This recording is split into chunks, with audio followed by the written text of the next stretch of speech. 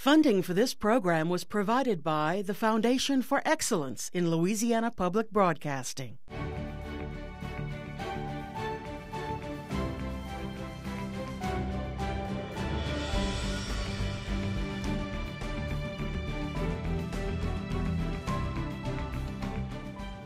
Stanley Skip Bertman led the LSU baseball Tigers to five NCAA baseball championships, coached Team USA to a bronze medal in the 1996 Summer Olympic Games, and went on to become LSU's director of athletics.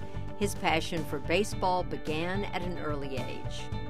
I mean, he always was a baseball coach. When I met him, he was a baseball coach and he was always involved with baseball camps or baseball. I don't think he ever wanted to be anything else but a coach. I mean, did we dream of what was going to happen? No. Are we thrilled about it? Yes. And we wouldn't uh, take back a day of anything that has happened. While a student at the University of Miami, Skip earned three letters as a catcher and outfielder, a bachelor's degree, and a master's degree in health and physical education.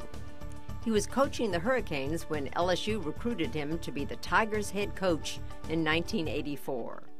He had goals when he came, as simple as painting the old Alex Box Stadium to bringing a national championship to LSU. And he accomplished all of those. The stretch by Morrison the pitch. Swung on and hit the right field. That's way back there. Way back there. Home run! Tigers win! Tigers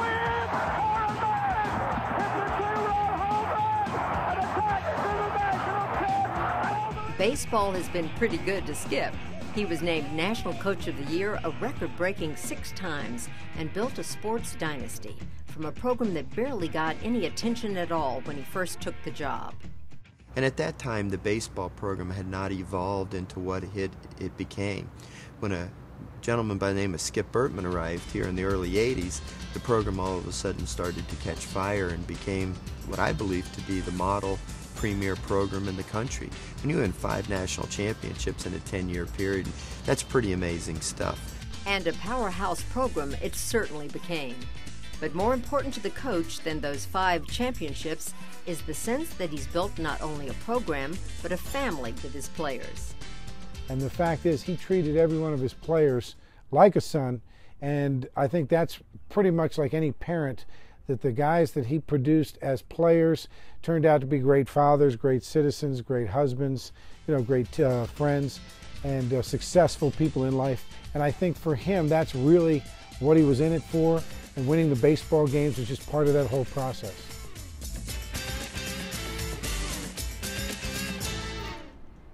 Hello, I'm Beth Courtney. Welcome to Louisiana Legends. We are here in this beautiful baseball stadium with a true Louisiana legend, Skip Bertman. And Skip, we're here in a place that some people call it the house that Skip built. Congratulations, it's gorgeous. Uh, thank you very much. It's been a, uh, a great ride and, and a culmination for the most wonderful fans who have filled the old Alex Box for 70 plus years and then, of course, to come over here and see it still fill and still continue winning national championships and records and uh, make enough money to sustain all of this is a wonderful thing. How did you, you were born in Detroit uh, and then moved quickly to Miami. Um, how, how different is your early childhood in Miami from where you are here in Louisiana? Oh, it's very, very different. Uh, uh, growing up in Miami, where it seems like nobody was ever born there, they came from New Jersey or New York or some other place, and I was there as a child. So I grew up in Miami, and it's uh, uh, fast-paced, uh, like large cities, and uh, very uh, heterogeneous. and then, of course, when I came here after living Miami for 44 years, you know, I came to the airport, and the AD sent a booster to meet me and he stuck his hand out and he said, Billy Ray Bob. and I said, Where are the other two guys? You know, because it was so new to me. On the other hand, uh, in moving my family up, uh, uh, we saw that the people were just about as nice as it could possibly be uh, at every level, at every turn. And secondly, at the LSU was a wonderful place. I had been here before, and I had sensed you know, the fact that we could go forward and that we could be champions, uh, that we could be the best, you know, regardless of what other people thought, you know. And sometimes it takes people from the outside of the state to come here with a different philosophy than those that were lived here all their lives. And I think uh, they gave me the tools and the ammunition, and uh, we were very fortunate to have a lot of good athletes, a lot of good students. Well, when did you personally first fall in love with baseball, if you will? As uh, I was in baseball, uh, of course, all my life. I think uh, I fall into the category of most coaches. Uh, I knew I wanted to be a coach when I was 14 years old and coached kids that were 10 to 12. Uh, and coached every summer since then for my entire life. Never missed a summer. Uh, I read every book. I spoke to every guy. I drove. I flew. I got anywhere I could to speak with someone uh, uh or, or, clear up something that I read in a book. Uh, it was very important for me to do it right. Uh, I'm an excellence seeker.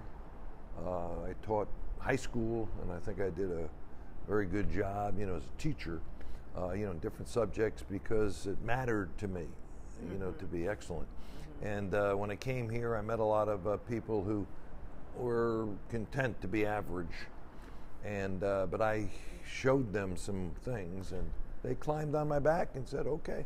We were talking about that. Uh, aspiring to be average is not in your DNA, is it? No, it really isn't. It, it, it's irritating to hear uh, top politicians in our state say we're going to we're going to reach the southern average if we pass this. And uh, you know that's a hard thing. You know, I think the passion for football here or baseball and other sports, that same passion could be put into education. Uh, it can be put into healthcare. It can be put into jobs and many others. There's so many people here, great intelligent people and we could really do anything. It's not just baseball or football that we can be champions or athletics. be champions in anything. Well, you saw what we could be and what you could become. And um, in this fabulous stadium, how unique is the baseball program here at LSU and the athletic program? Well, the, the, athletic program uh, is good, is really good, but the uh, baseball program is in a league by itself because it has been the record holder for fans for about 16 years now. And of course, we'll always hold that record because of the new stadium. And Paul, uh, the coach, does a magnificent job. So uh, I think you said in his game, opening game, you had, or one of his games, you had more than the entire season you had in your first season, or something oh, to that effect. Yeah. Yeah, we did. We had uh, started uh, you know, with just a couple of hundred people, and nobody ever went to a game unless they wanted a quiet place to study. uh, yes, that would be my era. and of course, um, the the thing that made it makes it work uh, is that baseball players are great representatives of the athletic student body. They sign autographs, uh, they make good grades, they go out into the communities. They're very fortunate in the sense that they do come from mostly two parent homes and they're uh, wonderful kids that have been trained uh, by parents. And then you come in and you just turn it over and show them how to be champions and what to do with their hands or their feet. And that part is easy. And uh, they love it. And they love the teamsmanship, you see. Uh, I've un- understand that part of your legendary efforts have been as a motivational speaker. Uh, how important is that envisioning being a champion, and there's some speech that you talk about ropes or something right. to that effect. It's legendary. well, what's uh, the the correct thing? Uh, the, the, rope story, of course, is a true story, uh, in the sense that uh, a quick version is. I gave them a uh, three foot rope and I threw it over the edge of my desk and called them in one at a time at the beginning of my tenure. And I said, if I was holding on to this end of the rope and you were holding on to that end, but a thousand foot fall if I let go. Who do you want that you love so much, you trust so much to hold on to this rope? And of course, they knew I was serious, and they mentioned a lot of players, and or even me. And uh, when it was over, I said to them, "It doesn't really matter uh, who holds on to the rope, as long as he's a teammate of mine. See, then we'll be one. We'll think alike. You know, we'll do things that uh, will be team worthy." And of course, it takes a couple of years, as it does in all sports. and the team, uh, you know, became very, very close. And uh, you have told the rope story many times, and uh, continue to tell it. And I think it's a good lesson for anybody in business or in any group uh, to hold on because people need to trust you. As I look back at the, it has all the winning championship uh, years here on this uh, scoreboard. Six you had as head coach, and then one, I guess you were athletic director em- emeritus. Is that at that Well, point, or, or you were athletic director? I was athletic director, uh, and of course Paul uh, did won the championship, and it's wonderful. He's a good coach. What was it like that, that very first championship? The exhilaration of the pictures, the still frames of those pictures are just fabulous there in Nebraska. Was it? What was the? Tell us what it was like. Well, first let me say that we were at Omaha, the in Middle America, where the championships are played. Now nobody from Louisiana had ever been there in baseball at the time I came here, uh, yet alone LSU. And I said to the boys, we're going to go to this place in Middle America, and we're going to play for the national championship. I could see it, I can visualize. And I showed them things in the stadium uh, on pictures that I had, and uh, there would be a new scoreboard. There'd be 100 seats here, bleachers there, and so on. And all of us are going to do that. You're going to paint, you're going to pick up the rocks. We're all going to do that. We're going to be one and have a great time. And slowly they bought in, you know, one at a time, see, as we move forward. And we went to Omaha four times and didn't succeed as champions, which wasn't enough for me, okay, or my team. And on the fifth time in 1991, we did win. And uh, I must say that uh, the thing that strikes me the most is I had always prepared for that. And I said to myself, uh, when the last out is made, I'll, wa- I'll hug all the coaches, and then I'll walk across and shake hands with the other coach, and then I'll meet in the middle of the, stay, the field with all the players. And uh, of course, the last out was made by Chris Moock over to John Tellechea. We were the champions, and sure enough, all the boys reached in, all the coaches. And then I walked across, and Beth, as I walked across, I thought to myself, gosh, I've done this hundreds of times. But I had, you see. I had visualized this hundreds and hundreds of times. And I shook hands with the other coach. I went out and jumped around with the boys. And uh, when the TV thing came, and the lady said to me, as they always do, you know, what do you think? And of course, I had a prepared, you know, 30, 40 second blurb. And I'll never forget this uh, female reporter, uh, you know, she gave it to me, and I said, and all the people of Louisiana. And I turned back to the camera, and she was kind of surprised, you know, oh, you know, because I had it all memorized, you see. And, you know, then so it wasn't out of the realm of winning again, you see. Uh, you know, or even some times that I You thought practice being a winner. we practiced it often with the Olympic team. We did stuff like that. You know, we went into the stadium and we practiced. You know, p- playing at eight o'clock in the morning, which might have been for the Olympic team when I was a coach, or other kinds of things. You know, because we visualized it. Now, many people tell these stories, and many books are written about these kinds of things. But unless it happens to you, I guess you, you may not be a believer. But uh, you know, two things have always worked for me. I could get for my team, my family, for LSU, whatever I wanted, if I could help enough other people, you know, get what they wanted. And the second thing was is uh, I always believed, you know, that if, if you could uh, see it, you know, you could achieve it. Tell us about your experience as uh, being coach of the Olympic team. How was that different? Well, it was great. I was an Olympic coach uh, three times, twice as an assistant, and once as the head coach in 1996 in Atlanta.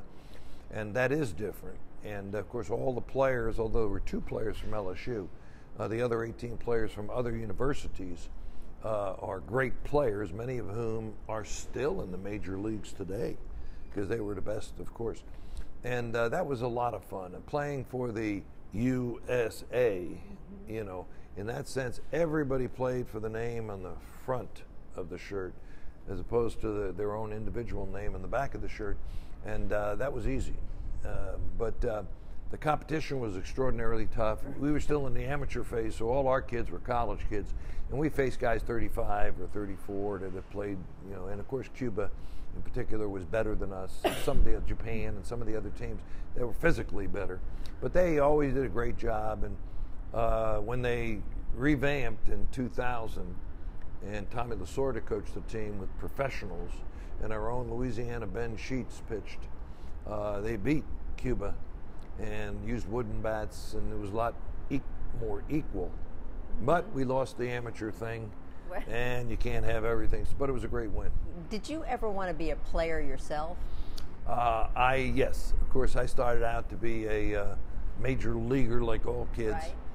and probably would have done that except for a tragic lack of ability. I uh, did manage to go to the University of Miami and play baseball, and but I always knew I wanted to coach, and I really wasn't interested at that time when I was 21 or 22 or 23. Uh, I wanted to be a teacher, and I wanted to coach, and I wanted to coach and teach, and so as soon as I got out of school, I couldn't get a job in high school, and I had an elementary school job, and I was really upset. Uh, but I was kind of I was a physical education teacher at two different places, and my second school is where I met Sandy. She was a, you know, a first grade teacher, And your lovely wife, yeah. 48 years now, and so it was a blessing, you know, because the Lord always gives you a blessing, you know, if you believe. And the, you know, that we were engaged, you know, by November. That was August, and married the same year in uh, February. It's been, as I said, been 48 years, four uh, children, four grandchildren, and I've been super blessed. Do you keep in touch with uh, many of your former players? Yes, I. Uh, uh, it was important to grow a family-like atmosphere, kind of like Les Miles does, and uh, to make sure that the kids, you know, come through the system, and they'll always be part of the system. They never get big heads. They never forget where they came from, and uh, I like that. I like to be with them. Well, of course, you love baseball and coaching baseball, but then you are asked to be, be athletic director, and then you have to embrace all your children equally, I guess. I, I, although football seems to be king Well, in Louisiana, yes, how hard was that transition to being athletic director? Well, it depends. Uh, here, here's the thing. I, I knew exactly what it was like to be the athletic director. I've been doing this in college for 40 years. I've been through 12 or 14 athletic directors. I know exactly what it is. Football is king, okay, and will always be the king, and that's not a problem for me. I mean, to get 92,000 or 110,000 at a weekend It was just a wonderful thing.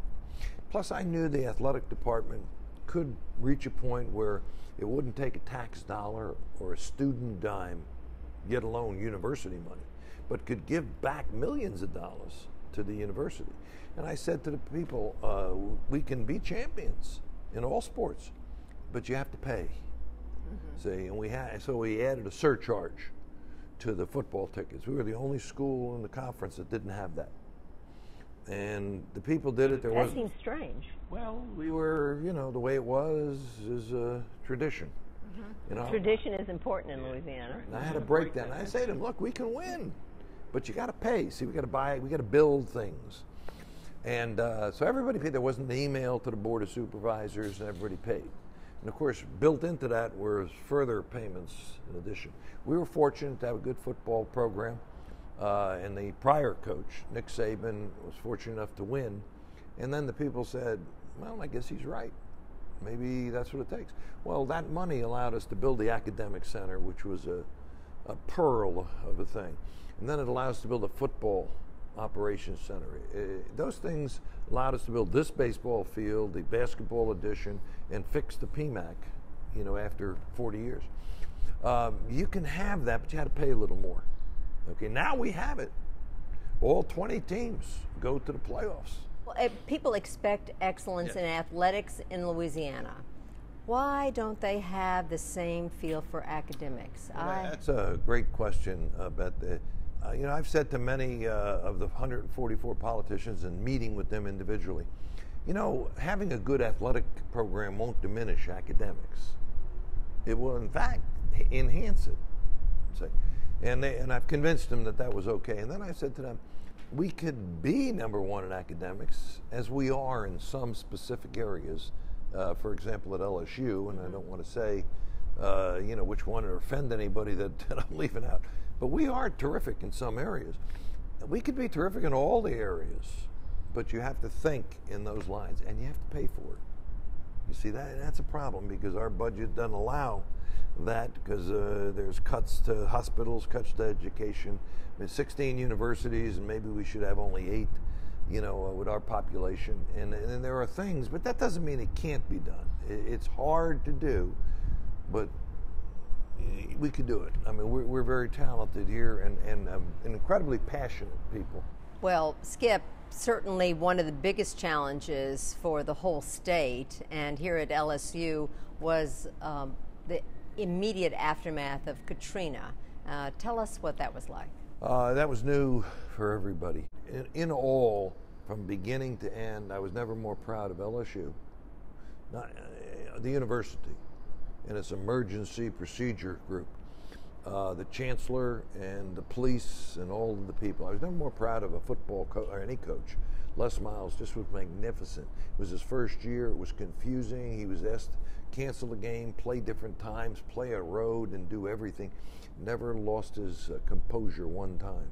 It was a wonderful thing for all the players who took all of their uh, gear and went over to the PMAC and just walked around and gave out their gear. And they really saw what was important. They saw a life lesson, Beth, that fortunately I hope it'll never be repeated. Uh, but they learned something then. And sometimes the thing we forget is young people at a university are just that. They're young people. Yeah. They're not professional.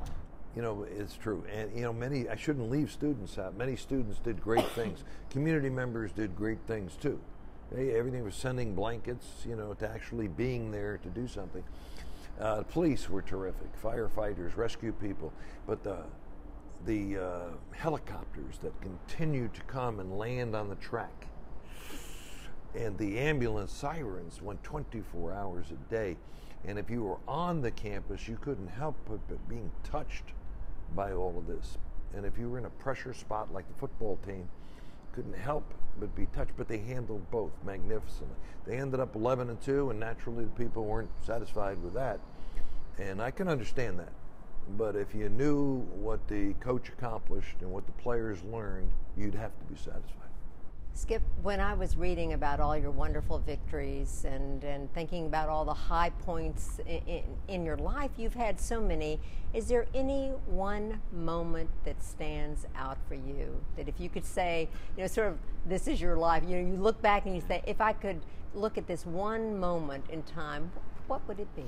You know, a lot of people have uh, asked that, and the people assume that I'm going to answer that Warren Morris hitting a home run in the bottom of the ninth in 1996 to win the ch- national championship from behind, the only time that it's ever been done in the history of college baseball, and really the only time in baseball, except for Bill Mazeroski in 1960, that because of its unusualness, that would be the one.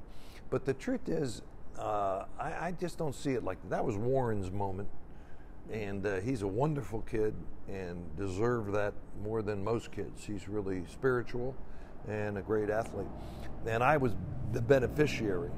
But of all of the things that uh, that I'm the most proud of, uh, wouldn't be just one day. You know, it would be the the system that I am planted into the baseball and then ultimately into the athletic department that allows people to be the best that they can be allows them to think and dream and wish and hope and, and know that these things can come true, uh, to help other people and to do those things. Uh, to me, that's what the, it's bringing the team together that's the highlight for me. It's not the finished product alone. The highlight is, and boy, when they come together at that moment, you know, at the specific time, at the specific degree, at the specific moment. You know, it's just such a wonderful thing for a team leader. What What are you looking forward? What's your next vision of what you want to do? Uh, I uh, retired and uh, will still do anything for LSU and done a few things and will do whatever they ask. They're very good to me, and the people have been wonderful. Uh, I want to spend a lot of time with my grandchildren, but they grew old, grew older, and they're not so sure that Papa's the guy to be with as opposed to some of their teen- must be teenagers. Teenage, or teenage friends. Then I can understand that. Okay, but the uh, but I thought I'd, I'd, stay calm, you know, and wait and see. And So I've done a lot of consulting. Uh, maybe too much. You know, I have to hold back a little bit because I don't want to under deliver and promise a lot, but promise a lot and over deliver. And uh, I don't want to do that, so I don't want to take too many. But I'm working for some companies as spokesperson uh, that have to do with uh, business procurement or speeches, you know, or radio or television. And I'm having a lot of fun with that. Well, um, we congratulate you on all that you have accomplished, and uh, you have certainly changed our lives and certainly the face of athletics forever at LSU. And um, you join a great group of Louisiana legends, and we thank everyone at home for uh, joining us for this edition. I'm Beth Courtney, and it has been my pleasure to interview Skip Bertman, a Louisiana legend.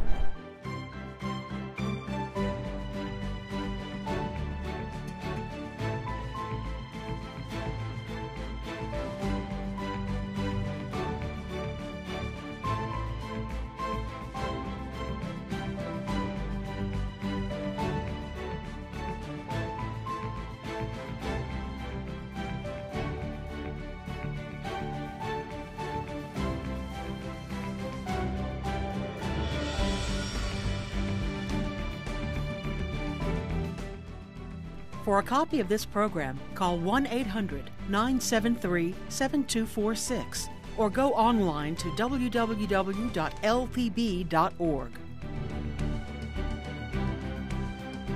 Funding for this program was provided by the Foundation for Excellence in Louisiana Public Broadcasting.